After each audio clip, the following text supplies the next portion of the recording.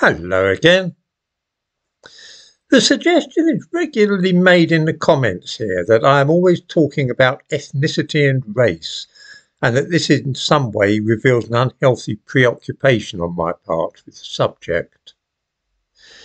It is an interesting idea, but fails, I think, to stand up to scrutiny. The real nature of the objection to this channel is not so much that I talk about diversity and inclusion too much, but rather that I say the wrong things about these subjects. If I devoted a channel to detecting and denouncing racism, say, and ferreting out racist opinions in other people, then I doubt that anyone would even notice me on my channel. I say this because there are hundreds of such channels running on YouTube, most of them with far more subscribers than I have, and nobody bats an eyelid. These channels all follow the orthodox liberal view on racism and anti-racism. There are, by way of contrast, very few channels such as this one which constantly approaches the matter from a different perspective. It is this which people really dislike. But is it true that I'm obsessed with the topic? Or is it rather that this channel reflects what is going on in society in a wider sense, and that it acts as a mirror to a modern obsession which is not of my making, but about which I talk freely?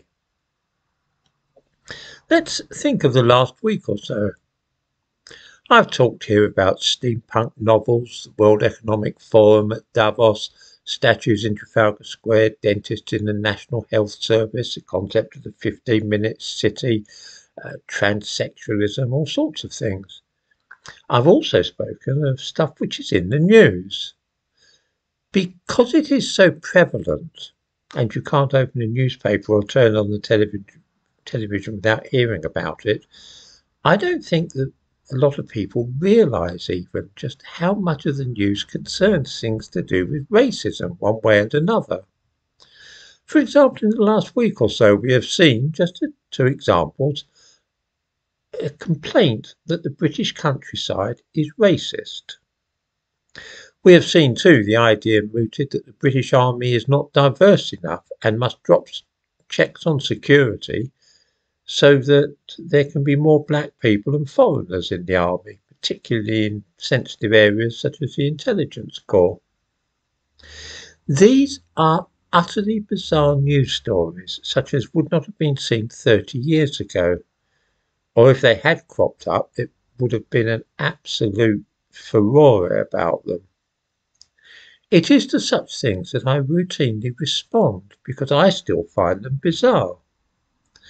The reason that I feel that this is important is that an orthodoxy has emerged relating to racism and anti-racism, diversity, inclusion, and so on.